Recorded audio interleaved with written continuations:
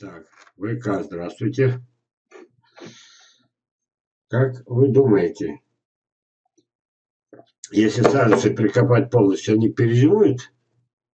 Все прикапывают, оставляют половину на поверхности, они все равно могут замерзнуть. А полностью, может быть, лучше?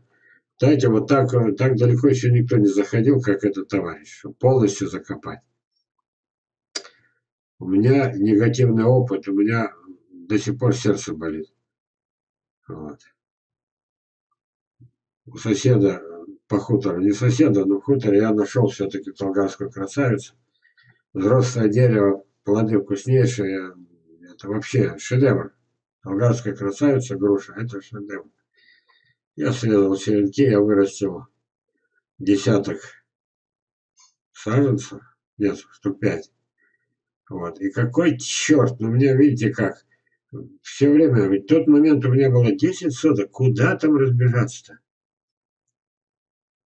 Я взял, выкопал их. И все сделал правильно. Я на картофельном поле их прикопал. Я знал, что на картофельном поле мыши не доберутся. Там их просто нет. И когда пришла весна, они все были черные, гнилые. А я делал по книге. По книге. То есть в тот момент я уже читал статьи в этих э, журналах, газетах. Причем э, потом уже, когда несколько лет назад, ну уже в эти годы, уже, вы знаете, мы пять лет занимаемся вебинарами, я, я не мог здесь, это сложно искать. Вот огромный у меня архив. Вот, он до сих, до сих пор еще не распределен, уже нет ни сил, ничего. Секретарша мне не положено. Вот, я частное лицо. Нет, я фермер, но фермеру тем более не положено. Фермер, слово ассоциировать со словом нищета. Или, по крайней мере, не богатый. И вот это вот хватился я. Вам нужно было сейчас мне показать три фотографии. Первая. Фотография, ну, давайте умозрительно. Первая фотография из книги. Там получалось, что схематично ямка, э, пологий склон у ямки, нарисованы саженцы лежачие. Так. И что интересно, вершинки самые, они торчали выше, но все-таки уровень, общий уровень почвы был как раз на уровне их. Вот. И я именно так сгноил пять саженцев Толганской красавицы. И до сих пор обидно, потому что та была полузамерзшая, она до конца погибла. И с тех пор и до сих пор у меня нет Толганской красавицы. Представляете? А она, та была, ей лет 20 была той, еще бы один-два ранирование по железу, вы знаете, как это просто. Тут без, этот, это вам не папа-мама равняется любовь.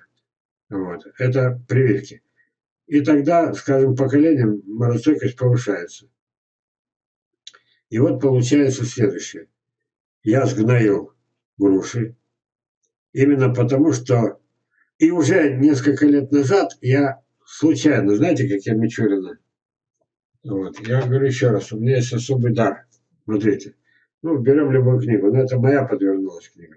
Это я так невзначай. Вы этого не видите, я не рекламирую. Потому что какая-то книга. Садоводство для избранных судьбой. Да видите, я делал вот так вот, смотрите. Это мое любимое занятие. Раз, не глядя. И именно на этой странице я однажды увидел прикоп по, по Мичурину. То есть там была схема, выше было. Вы понимаете, что если бы я уже как вот схема, она мне тоже есть эта фотография, но не найти мне. Вот, не найти. Это сколько еще перерыть надо. Я уже пробовал искать. Минут 20 потратил, больше не мог, не нашел. И там получалось все так же, но выше. Выше. И получалось так, что вот почему сгнили груши. Я их вовремя, последние дни лета, прикопал по-книжному. А потом пошли дожди. Все. И вот, когда у меня накопилось много данных по грушам, я никогда не спрашивал, откуда, и сейчас не знаю, где родина груш. Вот. Я установил с помощью десятков примеров, а то, что груши очень слабое на выпривание, очень-очень. И, и вот то, что я погубил 5 груш и остался без уникального сорта, без солгатской красавицы, это тоже в копилку легло. Что их вообще нельзя прикапывать. Почему? Неустойчивая погода, и вот, пожалуйста, вместо мороза вроде бы закопали, снег пошел, разгребли снег, закопали, и что, на следующий день дождь пошел. А как она может выделить? Вот яблоня э, терпит, слива терпит, а груши не терпит. А вот это, что между яблоней и грушей, они родственники, близкие по, по генетике. Но у них самое главное различие – это отношение к влаге. И вот получается, вы задали вопрос. Сальцы прикопать полностью, чтобы не замерзли. Нежелательно. Наверняка у вас есть снег. Пусть э, этот снег накроет верхнюю часть прикопа. Так? Таким расчетом, что если вдруг в этой яме окажется вода, ну, все, посадили, корни засыпали, часть кроны засыпали, но по Мичурину часть кроны засыпаны выше уровня почвы.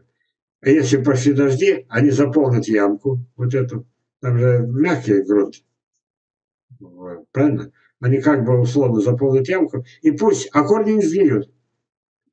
То есть надо в любом прикопе, чтобы не, боялось, не бояться воды, надо сделать так, чтобы в случае дождей в ямке были только корни. А тут пологость, да, пожалуйста. Вот, пологи, и пусть торчит. А чем взяли, что замерзнут? Если есть снег, вот так вот придавили. Вот как мог объяснил. То есть не надо целиком закапывать, вы можете, так же как я, весной достать гнилье. А в каких-то случаях могут и яблони сгнить, и вишник, и сливы, хотя они прочнее. И вот третий вариант. Вот он. Это называется прикоп по железу. Я пробовал только на абрикосах. Они боятся. И на, на северной яблоне. Они так не боятся. Вот перед самой зимой. Мало того, посажено на холм, смотрите, на холм. А уже повыше холма, повыше холма еще сделано э, то, что называется окучивание. Потом пришла весна, и по мере таяния я вот так вот руками разгребал, разгребал, и когда я полностью разгреб до корневой шейки, все равно дерево осталось на холме. И вот тут-то ему, ну, точно ничего не сделается. И никакие дожди ему не страшны, поняли, да? И мокрый снег ему не страшен. Потому что как бы не поливали дожди, как бы снег будет таять, но все-таки влаги вот именно при такой форме Э, при такой форме прикопа будет самый минимум. Тем более яблони ничего им боятся. Они и так не очень-то боятся. Вот как Вок объяснил.